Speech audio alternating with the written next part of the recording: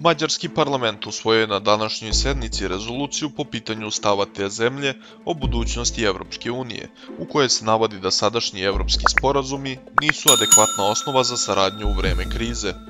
Rezolucija je usvojena sa 130 glasova za, 50 protiv i 7 uzdržanih, prenosi agencija MTI.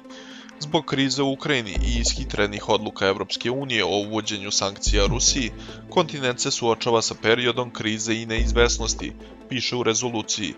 Kao odgovor na promenu situacije, Mađarski parlament predlaže da su u evropskim ugovorima potvrde vrednosti evropskih hrišćanskih korena i kulture.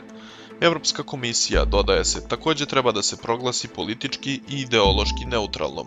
Sve države bi trebalo da imaju pravo da odluče sa kim žele da žive, stoji u rezoluciji.